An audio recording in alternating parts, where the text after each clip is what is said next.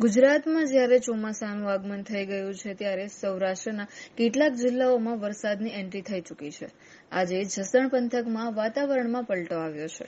તાલુકાના આટકોટ જીવાપર પાંચવડા, જંગવડ અને ગુંદાળા સહિતના વિસ્તારોમાં વરસાદ મન મૂકીને વરસ્યો છે. ગરમી અને ઉકળાટ રહ્યા બાદ બપોરે ધોધમાર વરસાદ ખાબકતા સ્થાનિકો અને ખેડૂતોમાં ભારે ખુશીનો માહોલ છે.